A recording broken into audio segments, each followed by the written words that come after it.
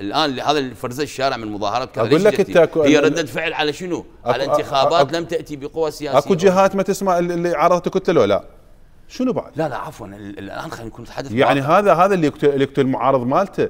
تريده يسمح يسمح بنزاهة. إحنا أنا بدي أسألك. إحنا- انتخابات إحنا عندنا صراع الآن. سلاح منفلت مال سياسي اللي قال عنه الأستاذ غالب الشابندة. تزوير وعندنا تدخل مواطن- خارجي. تدخل خارج وعندنا مواطن أعزل يرغب بالتغيير ويرغب بنتائج انتخابات تختلف.